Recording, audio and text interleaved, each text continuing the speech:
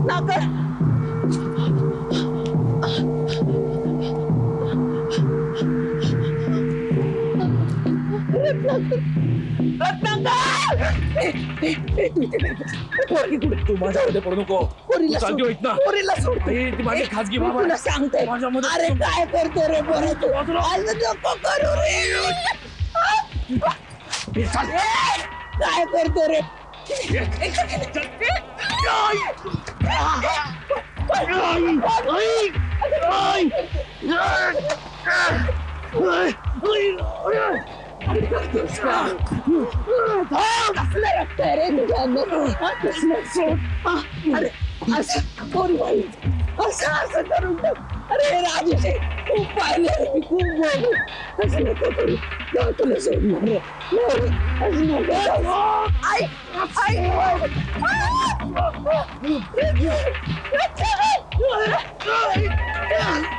मी नाही- मी नाही मी नाही जाऊ दे. मी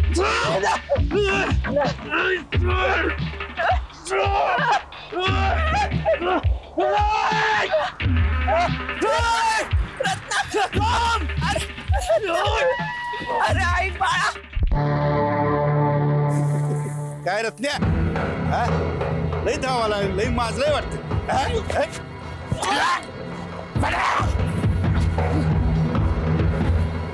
रत्नाकर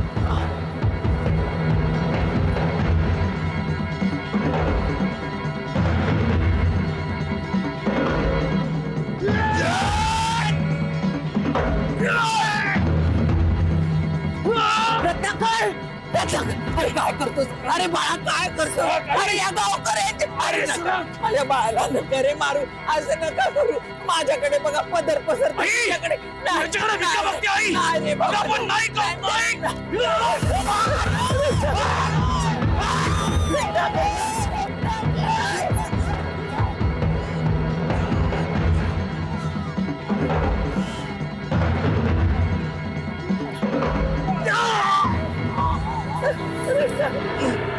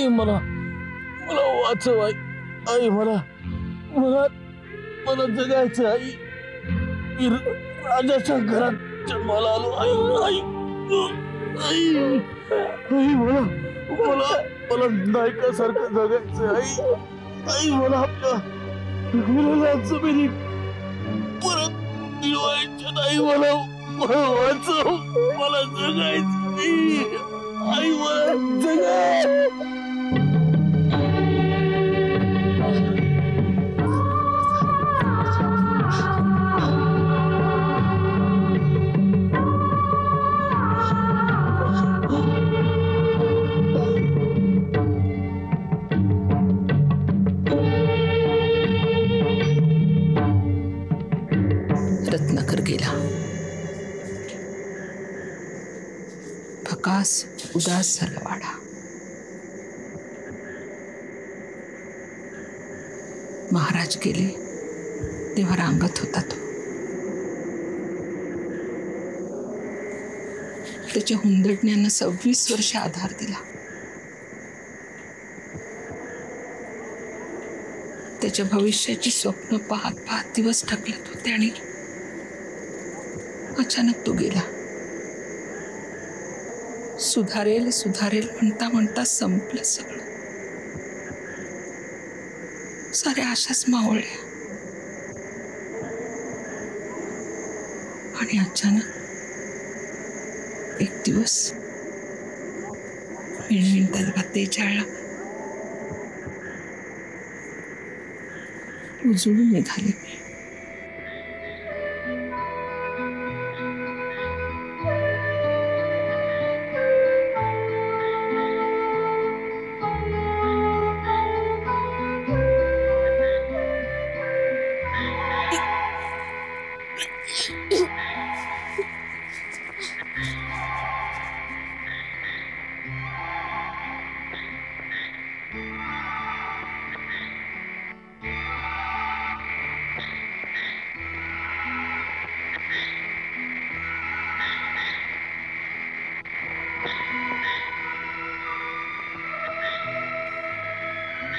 काय झालं ग? काही नाही. पापाची शिक्षा भोगते. काय म्हणालीस असं का बोलतेस का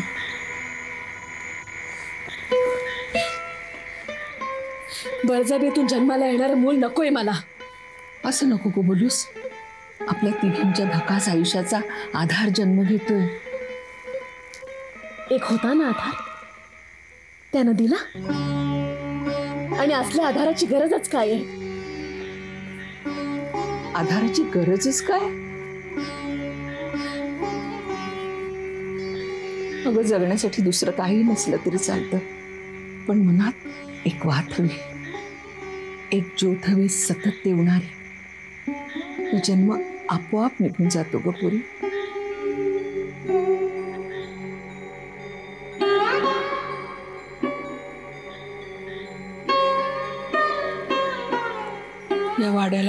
दोष होण्याचा शाप असेल. पण माझ्या वाट्याला नको. माझे डोळे मिटू दे. मग काय व्हायचं ते होते. एवढी भी घाल ग माझ्या पदरात? हे बघ आई हो आई हो म्हणजे तुला आई होण्याचं दुःख कळेल ग?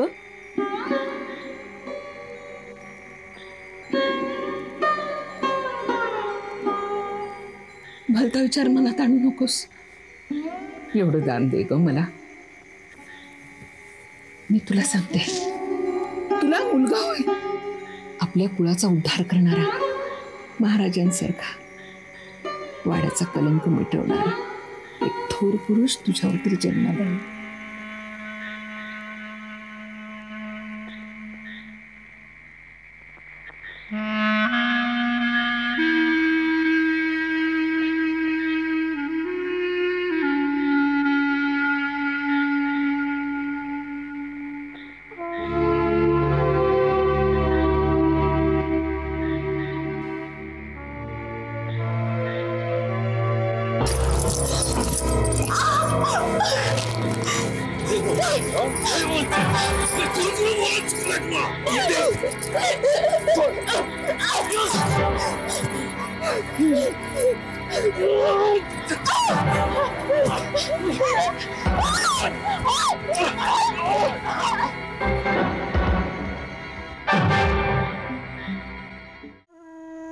राधाने हळूहळू मनावर घेतलं.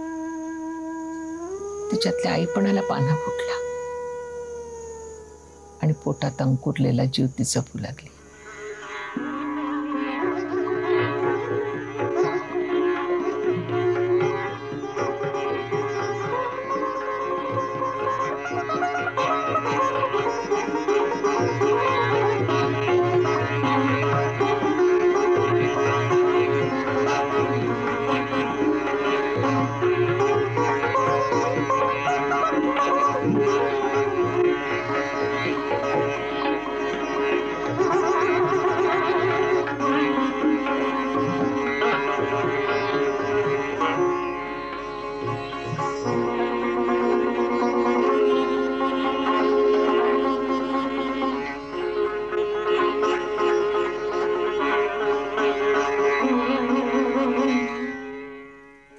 चालू दे बाळा तुझं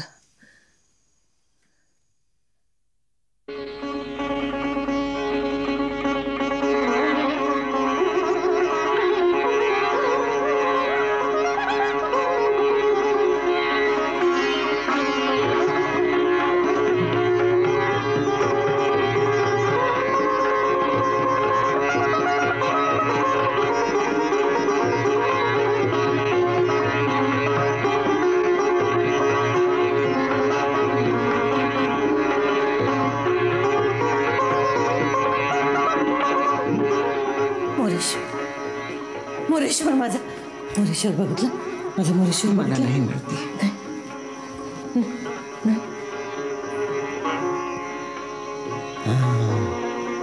राधेच्या पोटातला पोल आहे. मी घेऊन येते त्याला. माझ्या माझ्या मोरेश्वराला. राधेच्या पोटातला पोल आहे. राधेच्या हा, राधेच्या पोटातलं पावलं मी घेऊन येते. मी घेऊन येते त्याला. मी घेऊन येते. येते माझा माझा माझा मोरेश्वर माझा मोरेश्वर माझा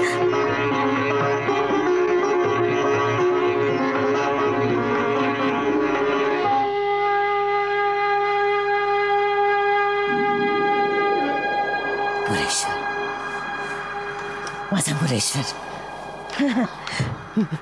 मुरेश्वर मुरेश्वर पोटातला पावलायस तू पोटातला पावलायस दे मला दे मुरेश्वर दे माझा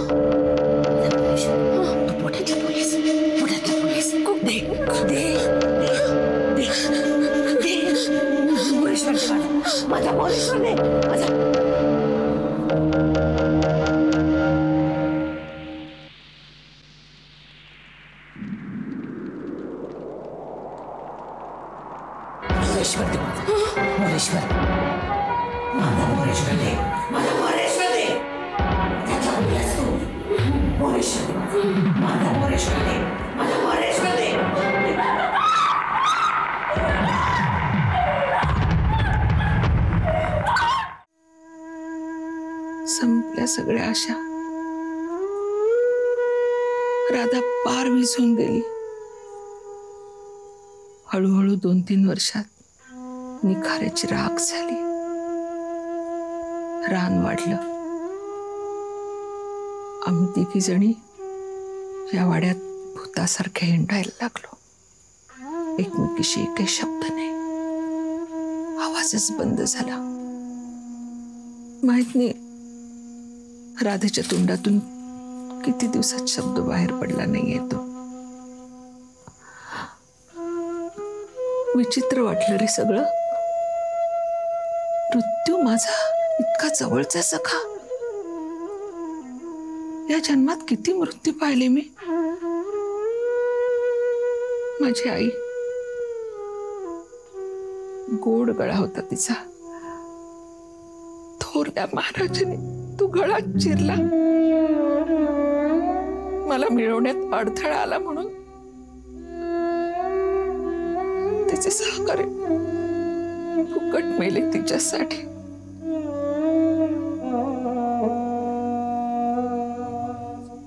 मग थोरली महाराजच गेले. मग महाराज गेले. खर तर जाण्याआधी ते इथून निघून गेले होते. त्यांचा फक्त निरोप मिळाला. मग यशवंत? यशवंत? रत्नाकरचे गुरुजी. बाई आता आणखी काय उलगडायचं राहिले रे? समोर देव माणसासारखा उभा आहेस तू. तुझ्या पुढे जन्माचा पाडा वाचते रे मी. खरं सांगू? मला हलकं हलकं वाटतंय. रिकाम्या काळोख्या आंधळ्या विहिरीसारखं वाटत होतं जगणं म्हणजे. पण आता आता माझ्या मनाच ऐकू यायला लागले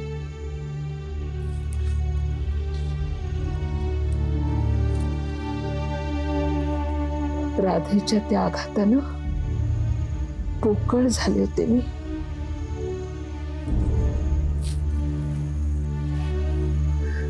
वाटलं की सुटले. झाला एकदाच निर्वंश. पण तो काय माझ्याच माझ्याच नशिबी यायला हवा होता? की माझ्याच मनाचे खेळ होते सर्व म्हणून मी ते भोगले? हे बघ माई. दमलीस तू. चल घरी जाऊया. यशवंत सज्जन होता रे. खरा माणूस होता. त्याच्या मनात आलं ते सांगून टाकलं त्यानं मला.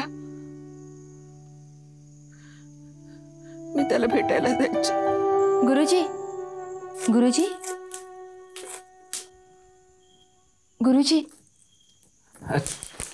तुम्ही तुम्ही या ना या या या आत्या. हां नाही असू दे. नाही नाही बसा तुम्ही. असं कसं हां.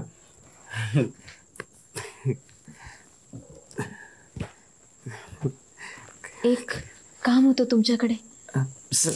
सांगा ना काय काम होतं? वरण होतो. हां हो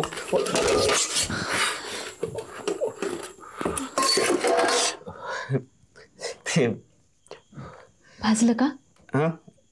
नाही चालायचंच. ब्रह्मचार्याचा संसार चालायचंच. लग्न का नाही करत? नाही आमच्यासाठी मुलगी कोण पाहणार? का? मी पाहिन. कोणीही शहाणी मुलगी हसत लग्न करायला तयार होईल तुमच्याबरोबर सज्जन आहात हुशार आहात. खरंच? माझ्याबद्दल असं वाटतं तुम्हाला? त्यात काय शंका? म्हणून तर इतक्या विश्वासाने मी इथे आले. माझं एक काम करा ना. सांगून तर बघा ना तुम्ही. तुम्हाला तर माझी परिस्थिती ठाऊकच आहे. महाराज गेल्यानंतर मागे थोडी बहुत जमीन आहे. तिचं काहीतरी करायचा विचार आहे. रत्नाकरची जबाबदारी. सासूबाई आहे. तिघांच्या पोटापुरतं मिळावं एवढीच अपेक्षा. तालुक्याला जाऊन जमिनीची रीतसर कागदपत्र करायची. जमीन कसायला द्यायची? पण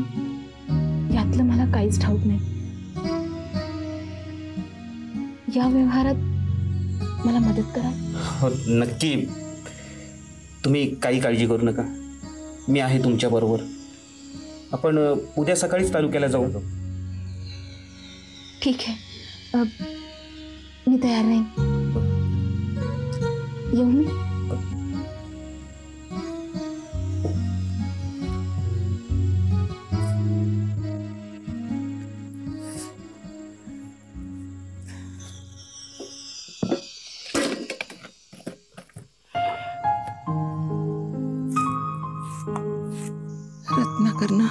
जी पाठी मारली होती ना तिचा पत्रा गंजला होता. यशवंतचा मृत्यू अटळ होता हे कळून चुकलं होतं रे मला.